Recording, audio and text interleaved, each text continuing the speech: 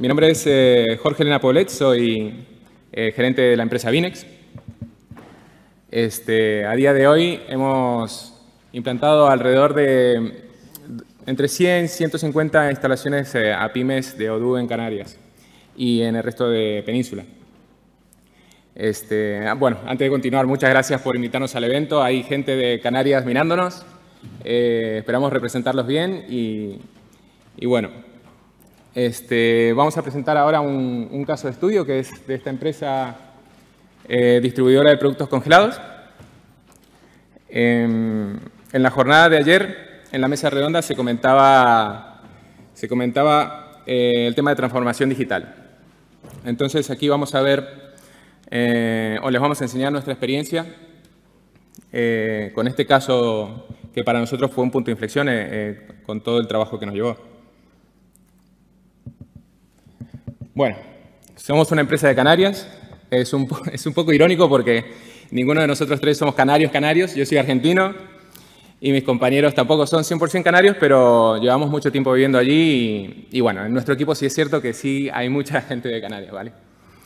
Pero bueno, como dice aquí, somos un equipo culturalmente diverso y esto contribuye bastante a la, a la comunicación y al conocimiento, ¿vale? Eh, porque hablamos de procesos de transformación digital y hay un, punto muy importante que se mencionó, pero se menciona, se habla mucho de software, se habla mucho de tecnología, pero hay una parte humana muy, muy, muy importante en los procesos de transformación digital. ¿Vale?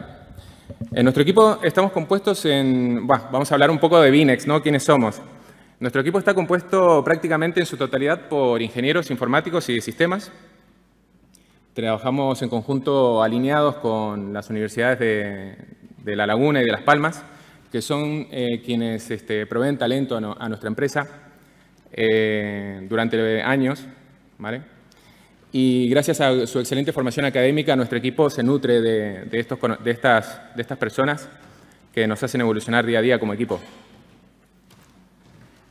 Como les comentaba antes, en los procesos de transformación digital nos enfocamos mucho en la parte humana ¿vale? que, toda la, que toda innovación tecnológica requiere. Este, y bueno, eh, dado que estamos en Canarias, eh, hay, unos, hay unos puntos bastante complejos que, que, contrae la, la, insularidad y nos encontramos con problemas constantemente, pero bueno, tenemos una mentalidad positiva y siempre intentamos afrontar las soluciones desde el punto de vista eh, eficaz. ¿no? Vamos a hacer una introducción ahora al caso de estudio. Esta empresa en cuestión es una empresa, voy a subir un poquito aquí la importadora, comercializadora y distribuidora de productos eh, alimenticios en el archipiélago canario. Tiene una infraestructura de dos naves industriales con cámaras frigoríficas de frío positivo y negativo, un almacén situado en Tenerife y otro en Gran Canarias. Son dos islas separadas así como una flota de vehículos que realiza todo un reparto a temperatura controlada. La tecnología que nos encontramos cuando empezamos a, trabajar con esta empresa era una tecnología bueno, con distintas aplicaciones aisladas. Eh, la información se introducía desde, desde, distintos elementos, distintas aplicaciones. Creo que eso es un caso que nos podemos encontrar a día de hoy en un montón de pymes de España, muchísimas, en lo cual eh, van buscando distintas soluciones y van instalando distintas aplicaciones este, y, luego los datos están eh, este, dispersos.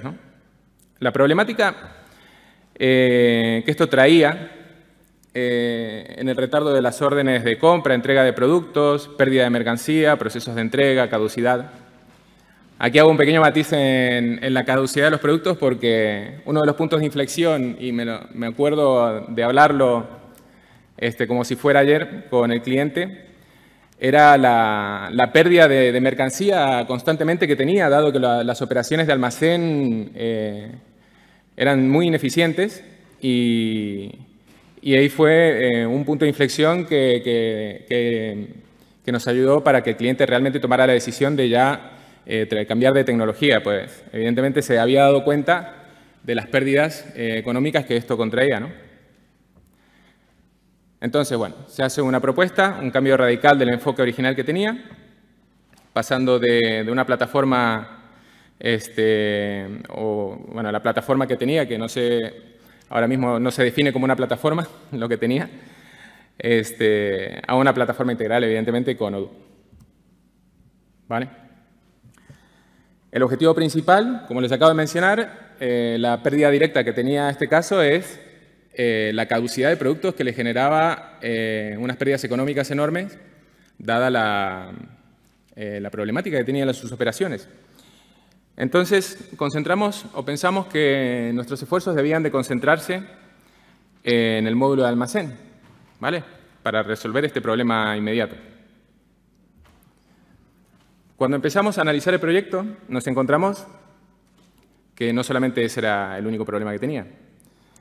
Eh, la empresa requería una infraestructura nueva, ¿vale? Que, diera seguridad al sistema, que tuviera, replicación, que tuviera replicación de datos, que fuera segura. La empresa también requería un control de asistencia, un control de acceso.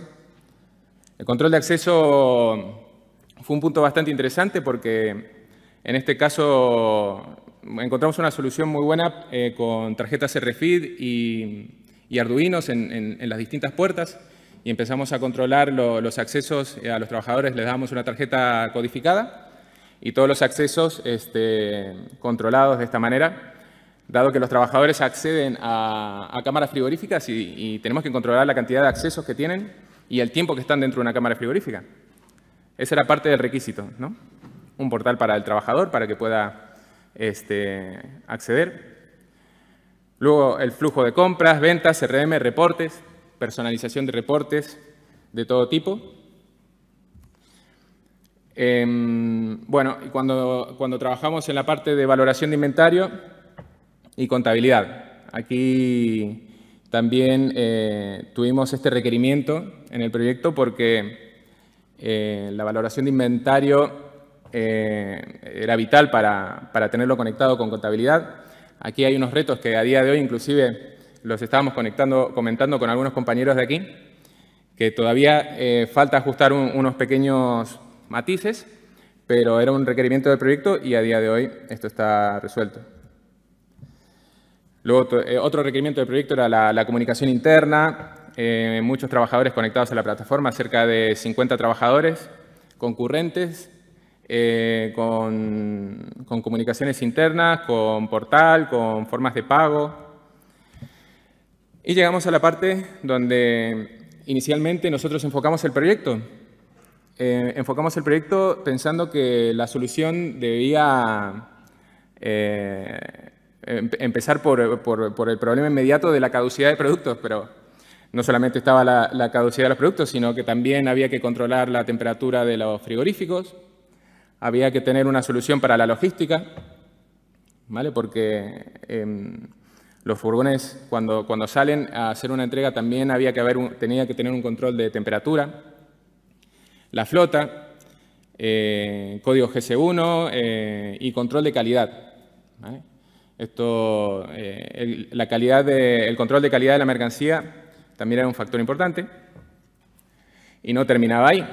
Nos encontramos que la empresa también trabajaba con, grandes superficies, como lo puede ser el corte inglés o al campo, y requería eh, una conexión a través de EDI ¿vale? para, la comunicación entre estas plataformas y, la empresa. Como pueden ver, sí, era un proyecto bastante interesante, por eso trajimos este caso aquí. Bueno, los desafíos inmediatos que detectamos, además de las agilidades de las operaciones, eh, o, que, pensamos que, que Odoo no, nos resolvía de manera inmediata, no, no solamente instalando, sino que también eh, este, hay que, había que desarrollar bastante, este, sobre todo relacionado con EDI y con las operaciones de almacén, porque eh, la comunidad a día de hoy no, no cubría la necesidad este, de, una aplicación móvil responsive para poder este, resolver ese apartado. Este, hasta, bueno, eh, ahora cuando hablamos también con, Sergio, que hizo la presentación el día de ayer, que, sobre una aplicación que, funcionaría bastante bien. En aquel momento, cuando nosotros le hicimos la implantación, no, no había nada. ¿Vale? Este, ¿Cómo lo hacemos? Esa fue la pregunta. Bueno, pues como dice el Cholo Simeone, paso a paso, afrontarlo y poco a poco. Eh, analizamos estos requerimientos, ¿vale? Esto, bueno, les voy a dar unos pequeños pasos. Evidentemente esto tiene, es mucho más profundo, pero uno de los pequeños puntos que nosotros consideramos que, teníamos que abordar, ¿no? Analizar todos los requerimientos y, dar solución a cada uno de ellos, todos los requerimientos que tenía la empresa.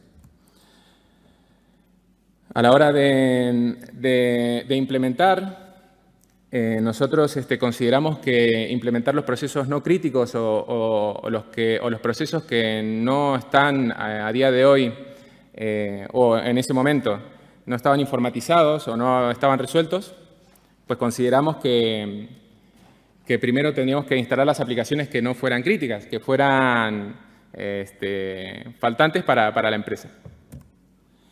Bueno, formación, mucha formación y más formación. Lo puede corroborar Ana. Este, estamos hablando con ella y bueno, el otro día hizo comentario que, que estamos totalmente de acuerdo. Eh, a veces eh, hasta el 80% de la implantación puede llegar a ser formación. Em, bueno, y aquí hay un punto que, para nosotros también es clave, que es detectar eh, los agentes del cambio, sea, los aliados que, se encuentran en, la empresa. ¿no? Em, nos encontramos que había gente que, que llevaba 10 años, 15 años en la empresa eh, estaba habituada a una forma de trabajar y a la hora de implantar soluciones, pues rechazaba completamente el cambio.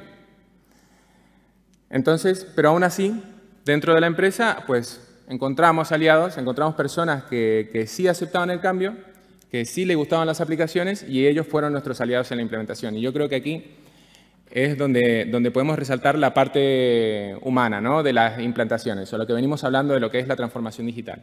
Vuelvo a, retomar ese tema porque, porque me parece muy importante a la hora de, las implantaciones. Eh, estamos tratando con personas. ¿no? Esas personas eh, están habituadas a una forma de trabajar y a nosotros nos pueden encantar las aplicaciones que nosotros tenemos con Odoo. Yo creo que los que estamos aquí, a todos nos encantan las aplicaciones y por eso estamos apasionados eh, en el software, pero muchas personas no lo ven de la misma manera. Los trabajadores van a hacer su trabajo eh, van a utilizar las herramientas que nosotros le demos y luego se irán a, hacer su vida. ¿no? Entonces nos enfocamos mucho en este apartado, en la, en la, parte humana, en la parte de cambio, de transformación y los agentes del cambio son aliados ideales en los procesos de implantación. ¿Vale? Entonces, este, otro punto importante y no menos destacable era la, infraestructura que tenía que soportar todo este software.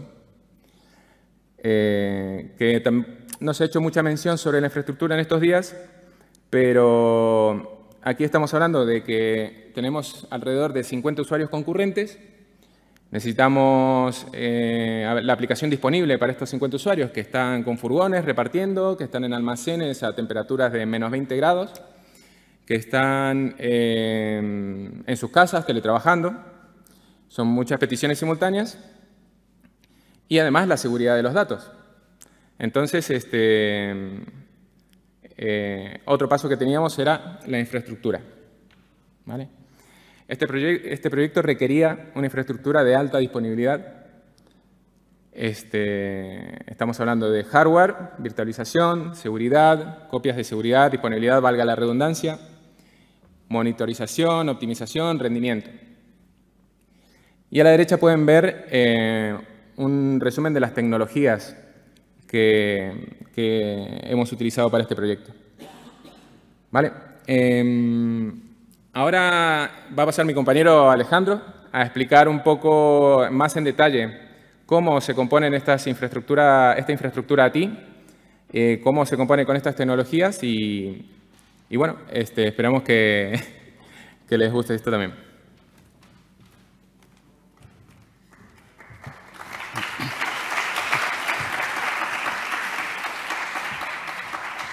Bueno, intentaré ser breve. Eh, ante que nada, soy un fiel defensor del código libre. Ya verán que todas las herramientas que lo defiendo a capa y espada. Eh, intentaré ser breve. Eh, en Vine me dedico a llevar el departamento de administración de sistemas. Y aprovechando este, este caso de uso, queríamos explicar, compartir la experiencia y socializar los resultados con la comunidad. Eh, la idea siempre fue cumplir con estos requisitos y explicarle un poco las metodologías que empleamos para implementar esta estructura o esta infraestructura, eh, donde las dos premisas principales siempre fueron la, seguridad y la seguridad.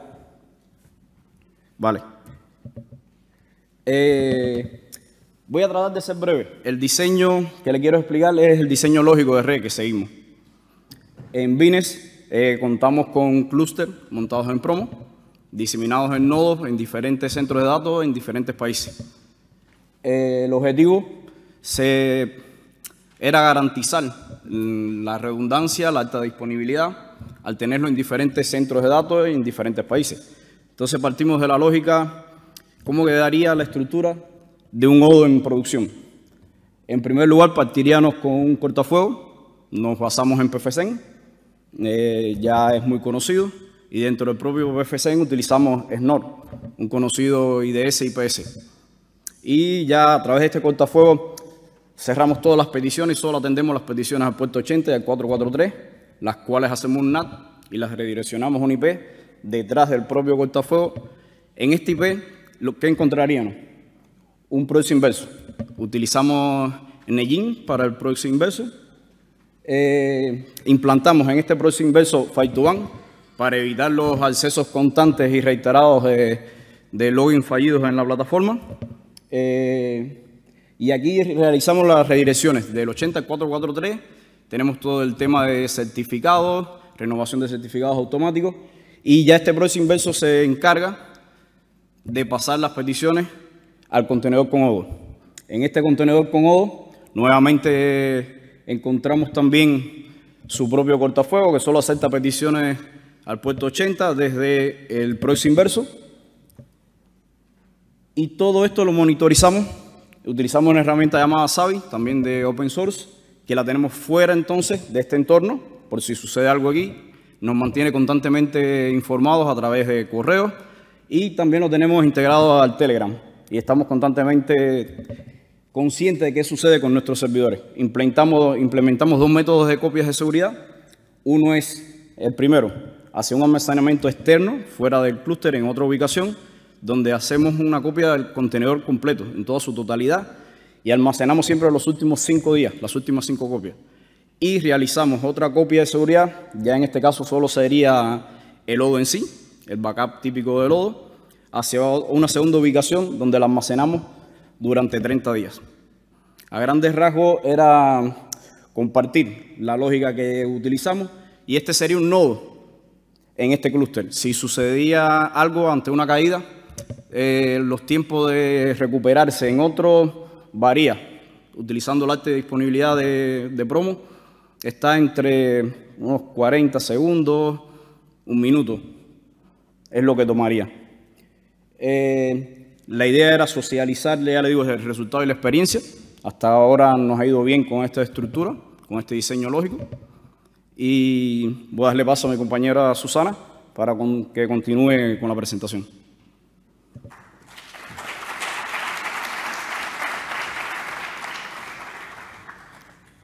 Bueno, espero que, les sea este, didáctico. Bueno, simplemente una preguntita para hacerles. Eh, estábamos hablando en la mesa y, mencionamos eh, la catástrofe que pasó con VH. ¿Cuántos de aquí tenían servidores en el, en el centro de datos que se prendió fuego? vale. Muy bien, nosotros también. Nosotros también teníamos. Bueno, más o menos eh, para, redondear este concepto, esto nos sirvió mucho para ese caso. Tardamos alrededor de entre 5 y 10 minutos en restablecer todo el sistema eh, replicado eh, de todos nuestros contenedores, que eran alrededor de 200 contenedores, con distintas instancias de Odo, entre 10 y 15 minutos. ¿Vale? Para, o sea, que es una, es una infraestructura contrastada. No es algo, nos llevamos al caso práctico por una catástrofe que pasó con VH, pero estamos orgullosos de, decir que, la infraestructura estuvo bien planteada y que pudimos recuperar todo el sistema en, un tiempo bastante asequible. Hay algunos clientes con distintas prioridades, ¿no? Mientras más usuarios concurrentes tenían, pues evidentemente eran los, los prioritarios, pero se fue migrando todo este, en un tiempo que, que, nos enorgullece. ¿Vale?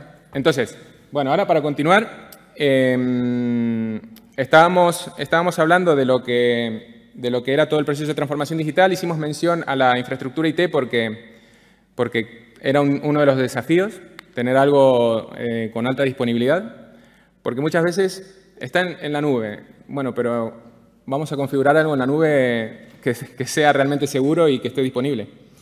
Y pasamos al, segundo punto que, en, este, en, este, proceso de transformación digital eh, requería y que la comunidad en ese momento no, no, encontrábamos solución, que eran las operaciones de almacén.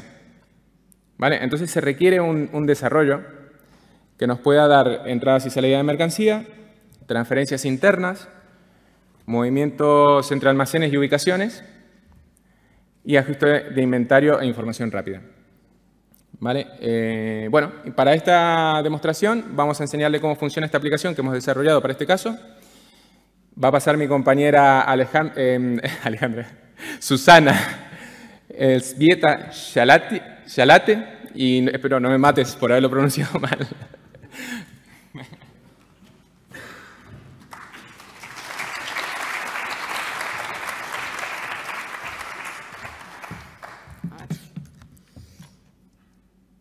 Bueno, entonces, este sería el... No se ve nada.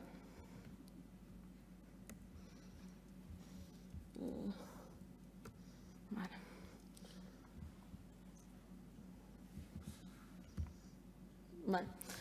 Este, este es básicamente el menú principal de la aplicación. Se trata de una aplicación integrada completamente con Odoo. Hemos creado algún menú eh, personalizado, pero de resto se utiliza en vista de Kanban de Odoo. Básicamente, eh, estas son las principales funcionalidades, las que podemos ver ahí. Están las operaciones de almacén.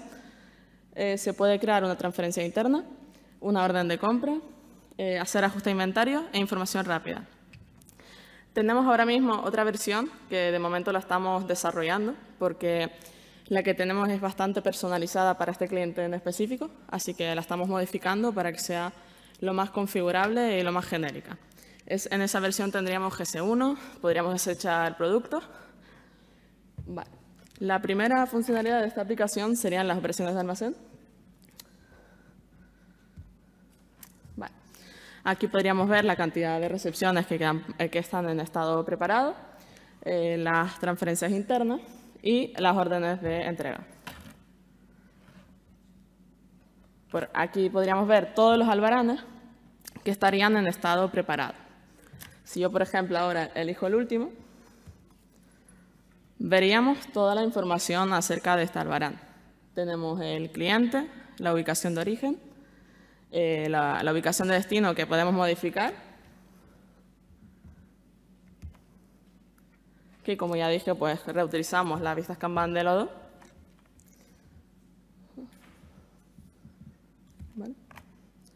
Además tenemos el tipo de operación, eh, la fecha prevista y por último hemos añadido un responsable. Hemos añadido responsable para pues, que conste quién está a cargo de hacer la recepción de la mercancía. En caso de elegir un responsable, la aplicación nos va a pedir la firma de, ese empleado responsable. E, Yo ahora puedo elegir a cualquiera de los empleados encargados de ello. Vale. Ahora lo que vemos abajo son las líneas y los productos que quedan por hacer. Entonces, aquí lo que se puede poner es la cantidad hecha a mano o se puede leer el código barras del producto. Voy a leer el, código de barra.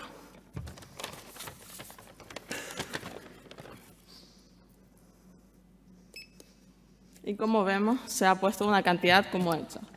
Y a medida que vamos leyendo el código barras, se añade una unidad más.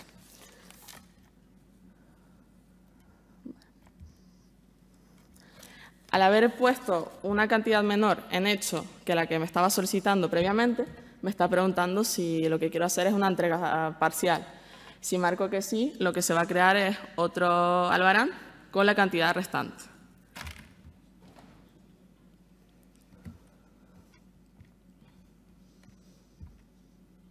Y como dije antes, al haber puesto un responsable, pues la aplicación me solicita una firma.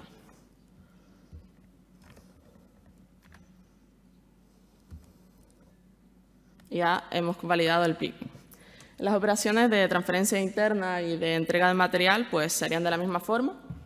Lo único es que en la entrega los campos no se pueden modificar y tampoco hay responsable.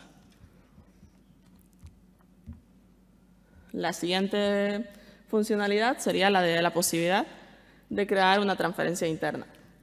Para ello lo que hay que especificar es una ubicación de origen,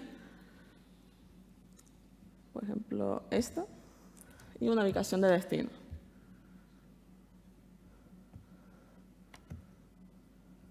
Aquí también podemos poner un responsable porque, por ejemplo, en transferencias internas, que son movimientos de mercancía entre almacenes, es importante saber quién realizó eh, pues, la salida de esta mercancía.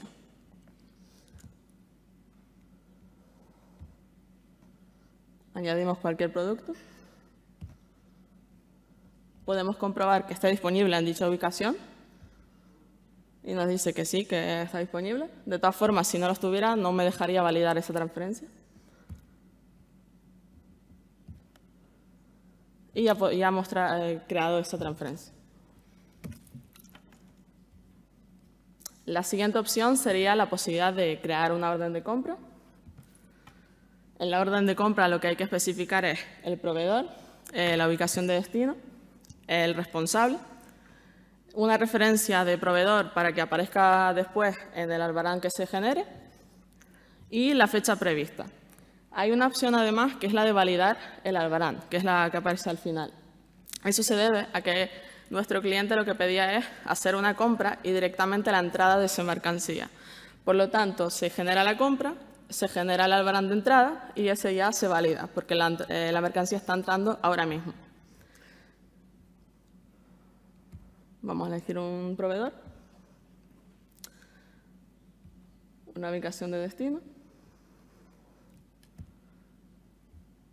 y voy a leer el producto.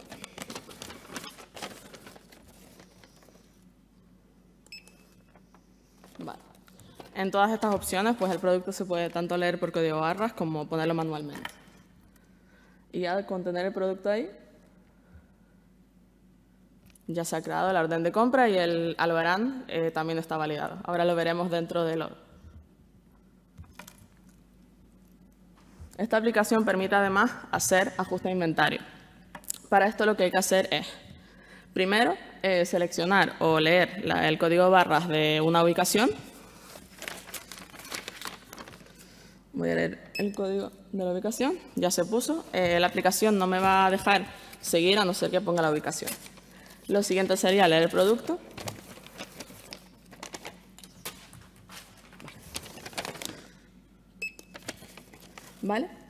Y ya con esto podríamos hacer eh, el ajuste de inventario.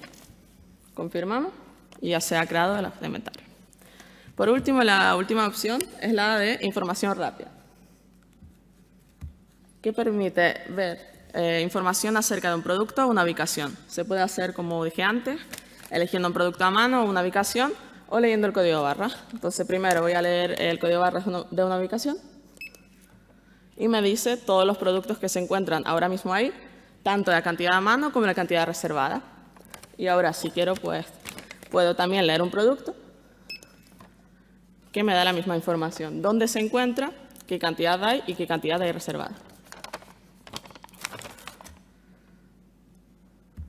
Vale, ahora vamos a ver todo lo que se ha generado dentro de la DU.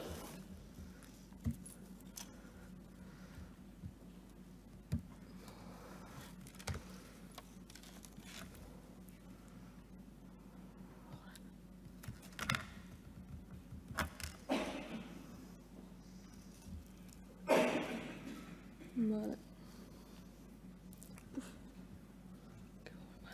Ah, aquí.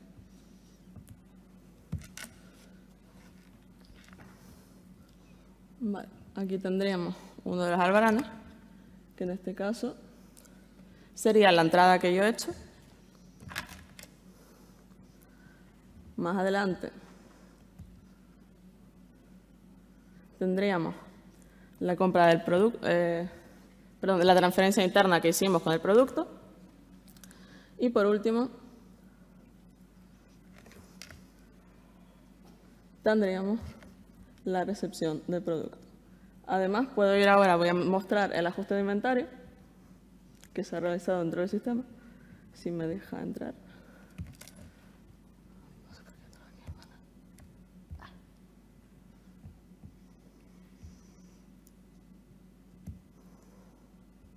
¿Vale? Y vemos el producto que se ha puesto. Bueno, entonces estas básicamente serían las funcionalidades que ofrece esta aplicación.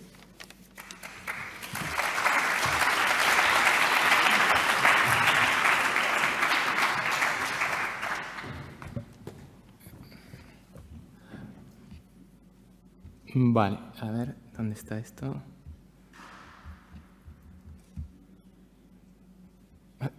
No volvamos a empezar porque ahí sí se queda todo el mundo dormido.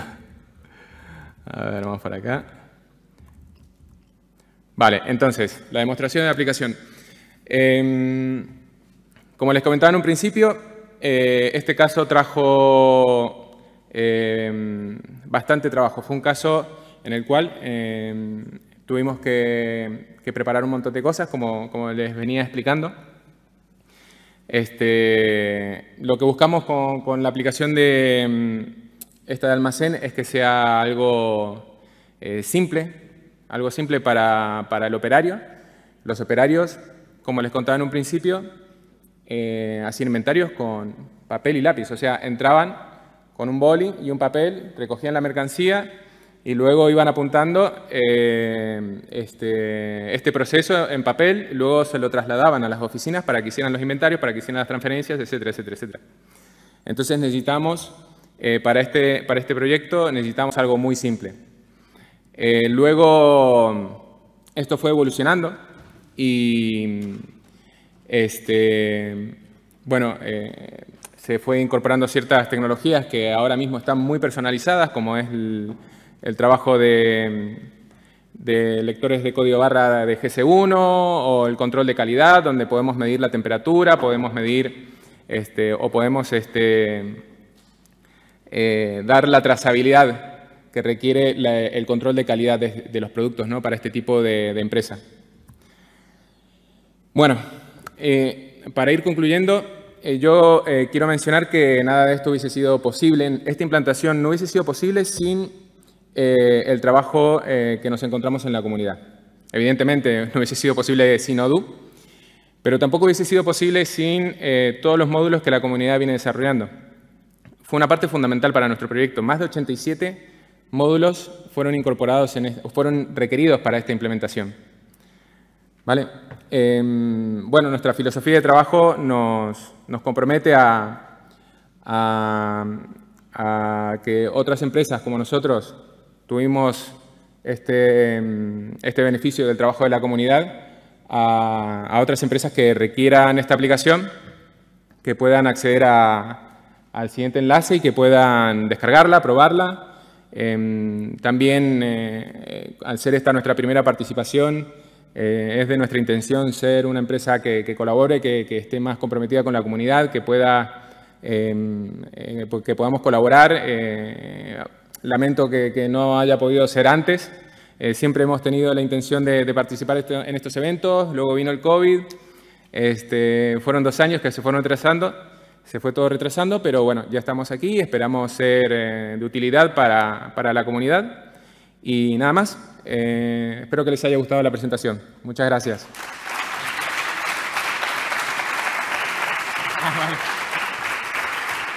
Bueno, si tienen, si tienen preguntas sobre la aplicación, sobre la infraestructura, eh, este puede ser un buen momento.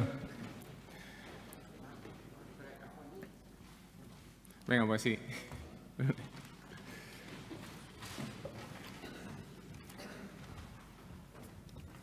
Buenas. A ver, eh, yo soy Juan Ignacio de Fridu y bueno, nosotros eh, nos ha gustado mucho la aplicación. Eh, hemos empezado hace poco a hacer algo para inventario y bueno, hay algunos requisitos que son un poco especiales que hemos empezado a desarrollar. Nos ha gustado mucho la interfaz y bueno, he estado mirando vuestro repositorio. el enlace ese no lo he encontrado, tampoco he tenido mucho tiempo porque estaba atento a lo que enseñabais. Eh, nosotros tendríamos casuísticas que tenemos hechas con una interfaz menos agradable que el vuestro, pero igual si nos interesaría probar vuestro trabajo y si nos encaja, quizás colaborar en algunos aspectos que nos han solicitado a nosotros muy concretos, ¿vale? De retales de obras y cosas así, igual podríamos, no sé si está abierto el enlace ese, si no, sí, sí actualmente está, está abierto para que lo, lo, puedas descargar, probar y... ¿La versión 14? En versión 14, está, no, ahora está en 12, pero está en 13 y en 14. Y hay otras funcionalidades que, que como, te, como les comentaba, están bastante personalizadas, las queremos estandarizar porque entendemos que es la, la filosofía de trabajar con, con código estándar que podamos eh, ir utilizando, así que estamos trabajando en, en, en estandarizar. Pero bueno, como tu caso, también está el caso de, Sergio, que lo estuvimos comentando, que también tiene desarrollada la aplicación que enseñó el otro día. Y claro, de, lo que se trata es de ir sacando y refinando un producto que, nos pueda servir a todos. Vale, pues nada, era más que nada eso, saber si estaba en la 14 y, nada, felicitaros. En las próximas semanas la vas a poder probar. Vale, vale, nos ha encantado, nos ha encantado, porque, joder, hemos visto y habíamos trabajado en algo del estilo, pero cuando hemos visto el vuestro, joder, qué, qué bien hecho y no, nos ha gustado mucho. muchas gracias.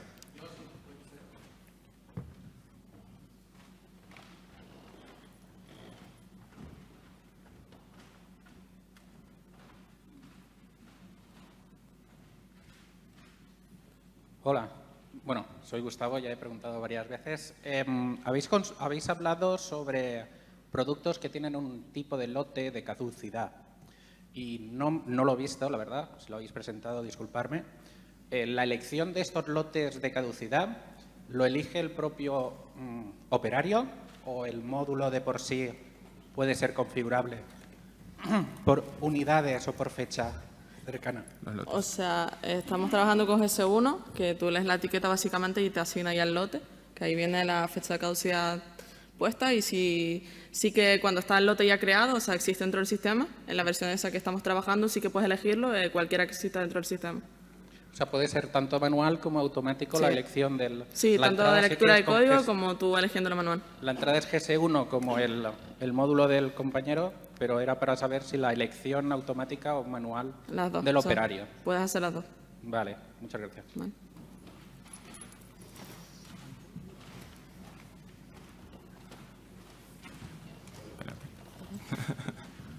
Pues, eh, a ver, yo soy Fernando, he hecho algunas preguntas, pero no me he presentado. Soy Fernando la chica de Green Eyes. Em, me gustaría saber si habéis implantado algo de entrega continua, eh, conocer cómo tenéis montados los Docker, cómo hacéis testing, eh, un poquito de... De las máquinas.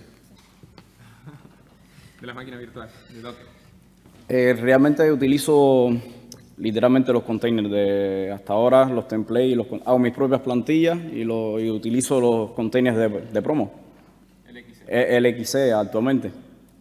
Dimos el salto de, del 4, de la versión 4 del promo, que actualmente vamos a la 7 y utilizamos los LXC. Y nos va bien, ya le digo, utilizando la alta disponibilidad propia que te ofrece el promo, ya eliges, ya es una decisión si utilizar CEF o NFS, ya es algo particular, es una decisión que tienes que valorar y ver la experiencia.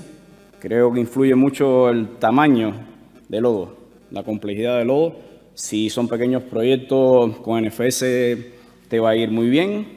Si son proyectos un poco más grandes, te recomendaría mirarlo con CEF.